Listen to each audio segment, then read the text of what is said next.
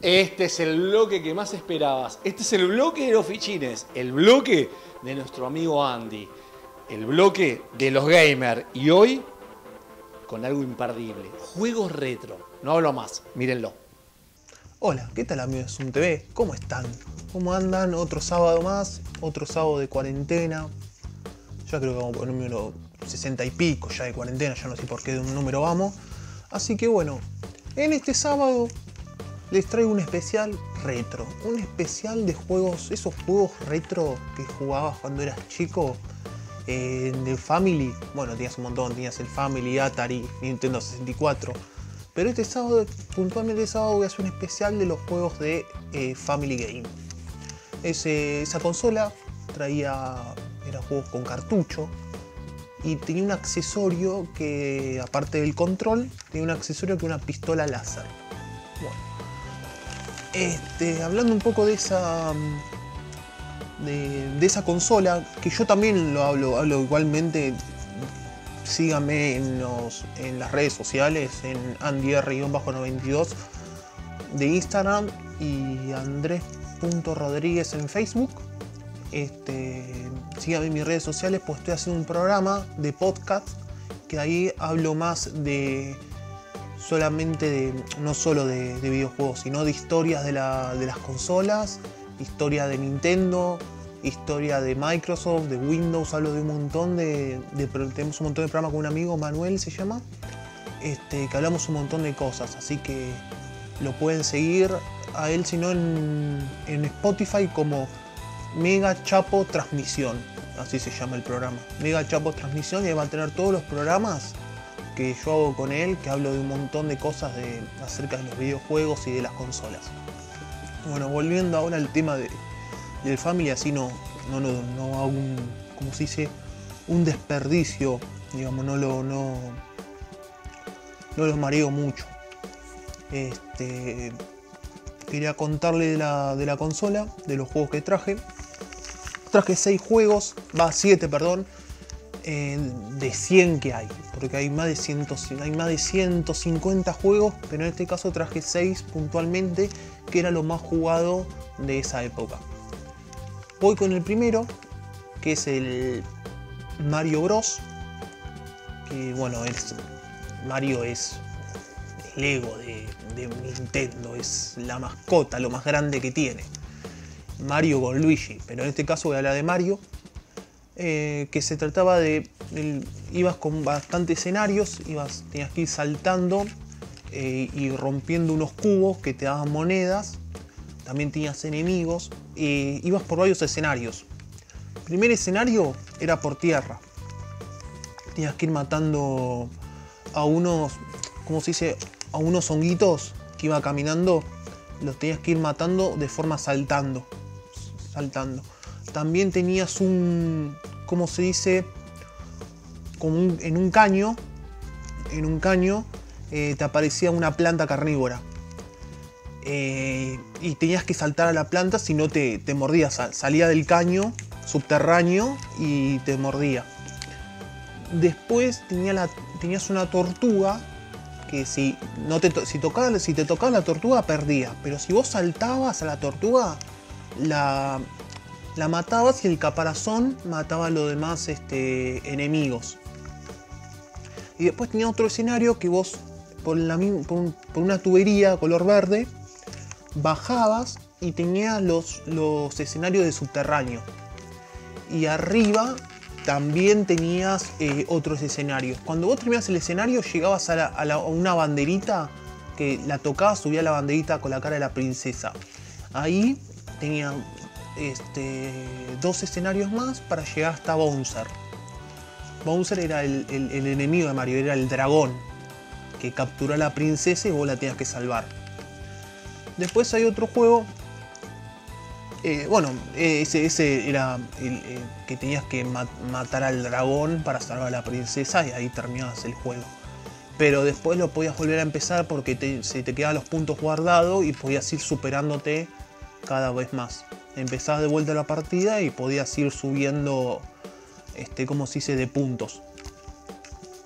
te anotabas el número, el nombre de una tablita y te iba apareciendo en la tablita y vos podías volver a jugar la partida para, para superar el récord que tenías anteriormente. Bueno, después eh, traigo otro juego que se llama Duque, Duque Hunt, que es un juego de unos patos. Este, eh, tenías un perro que molestaba a unos patos y vos con la pistola láser que tenías que comprar aparte de la consola. Este es un juego, bueno, como yo ya mencioné anteriormente, venía en cartucho el juego. Eh, todos los juegos vienen en cartucho en realidad, pero bueno, eh, este para les digo por el tema del formato que traía esos juegos antes. Eh, tenías que matar unos patos con una pistola láser. Ese juego estaba bastante bueno porque vos matabas los patos y, te subía los puntos. Y cuando matabas a los patos vos tenés que después enfrentarte al perro, que era lo más difícil. Me acuerdo que yo con, mi primo lo, lo hemos jugado y había un truco para eso, que era elevar al máximo eh, el nivel de, de la iluminación de la pantalla. O sea, vos el brillo lo subías y la pistola láser detectaba que había más brillo y, y- y mataba automáticamente a todos los patos. No importa a dónde apunte, siempre ibas a matar a, los patos. Eso, ese truco estaba bueno. Sí, me acuerdo que digamos, pasamos horas jugando. Y en ese tiempo también tenías un récord que lo podías ir superando. Volvías a jugar y tenías eh, los puntos y vos podías volver a jugar para seguir sumándole puntos a la, a la partida. Son juegos muy buenos porque son cortitos y podías volver a jugar una y otra vez. Eran todos rejugables. Después teníamos el, Legend of Zelda, la leyenda de Zelda, que ese venía con Link, el personaje Link, otro también emblema de Nintendo, eh, que tenías que rescatar también a la princesa. Pero este juego lo que tenía era más de aventura. Tenías una espada y te iba apareciendo los enemigos y tenías que ir comprando objetos en una tienda. Esos objetos eran vida, eran eh, accesorios, eh, mejoras de arma. Estaba muy bueno. Eh, ese juego que tenía que marcó, marcó una, una cosa muy importante en Nintendo, que ese juego era antitrampa. Vos cuando daba, vos cuando entrabas a la tienda tenía la opción de dar vuelta. Empezaba a dar vuelta alrededor del vendedor. Y cuando el vendedor se te ponía de frente, digamos que no la espalda le daba la puerta, vos ya podías salir. Pero sin gastar dinero, ¿no? Pero ya en el juego te llamaban eh, ladrón. Ya tu, nombre era ladrón, todo. Y, y- no importa el nombre que te hayas puesto en el juego, siempre iba a ser ladrón. Era una forma de marcar que por tramposo, digamos, ¿no?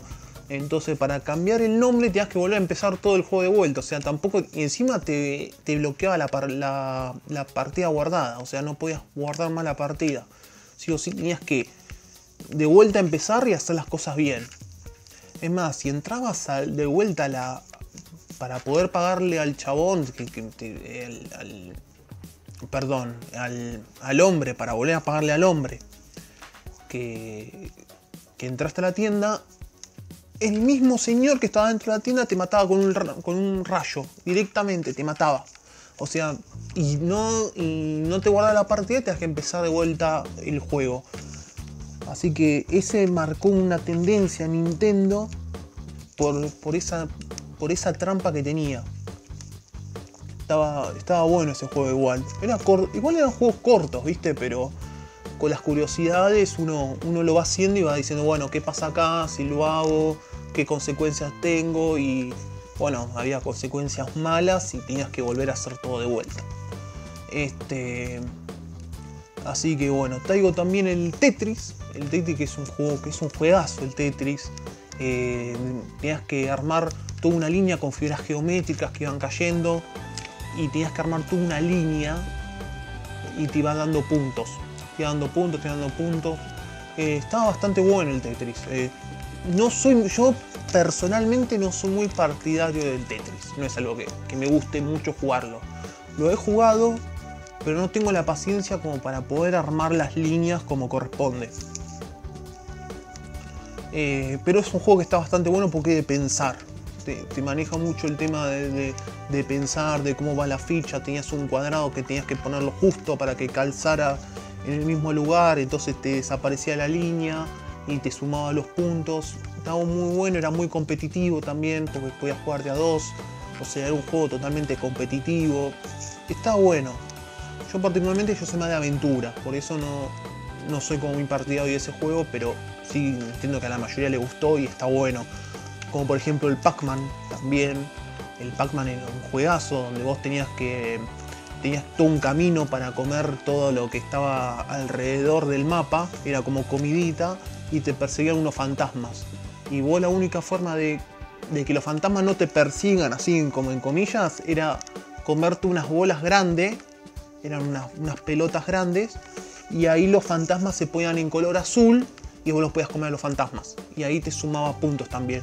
Pero también podías terminar todo tu recorrido. Ese juego me acuerdo que era infinito, tenía un montón de mapas, un montón de, un montón de niveles, cada vez más complejos. Yo creo que llegué al nivel número 5 y ahí no lo pude pasar más. Además, ni siquiera te guardaba la partida, ese juego era. Era perdías y volvías a empezar, de vuelta. No, no, no tenía ni punto guardado. Pero estaba bastante bueno el Pac-Man. Yo me acuerdo que lo he jugado y sí. Aparte tenías un tiempo para comerte a los fantasmas, porque después se ponían en blanco y azul hasta que, claro, parpadeaban hasta que volvían a, la casa y tenían, porque tenían un cuadrón en el centro y después volvían a salir de color y volvían a perseguirte. O sea, era un, juego bastante entretenido. Yo, yo me acuerdo que he pasado horas en el Sacoba jugándolo. Pero también salió para Nintendo, para Family. Em, otro juego más que iba, iba a nombrarles es el, el Príncipe de Persia. El Príncipe de Persia era, era un príncipe que tenía que rescatar a una princesa en un castillo. Y ese juego estaba bueno porque, bueno, primero era en blanco y negro, ¿no? Pero tenías una vida. Entonces para, para tomar esa vida vos tenías que este, rellenar la vida, tenías que tomarlo con una, ¿cómo se dice? Con una copa. Una copa que iba en el camino, ibas tomando una copa y ibas rellenando de la vida. Tenías muchos enemigos y lo matabas todo con una espada. Pero también tenías para saltar, treparte, tenías una escalera para subir. Estaba, estaba bastante bueno ese. Yo lo jugué, empecé en su momento, que estaba en blanco y negro y, y estaba bastante bueno. La verdad que sí, era era un mapa.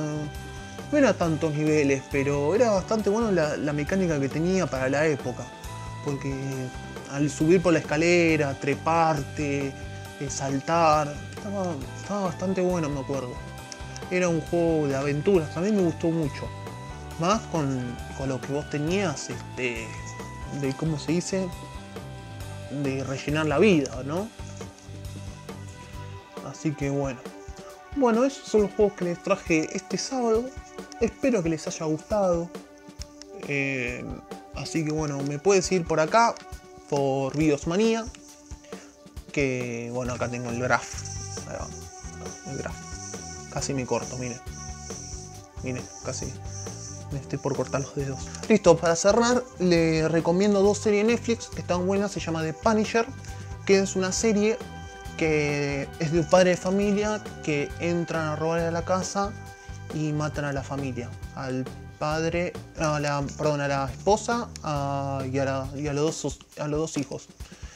El, el personaje es ex militar, así que van a tener mucha acción.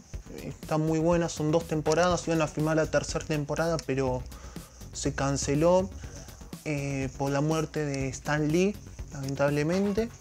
Y otra que le quería, le quería mostrar, eh, también recomendar, perdón, es Iron Fist.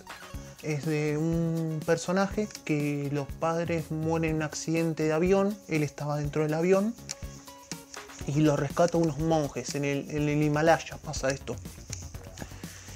Y le enseñan a pelear. Eh, le enseñan a hacer toda la cultura monjes porque el Iron Fist el que iba a proteger el templo en Colum, se llama el templo.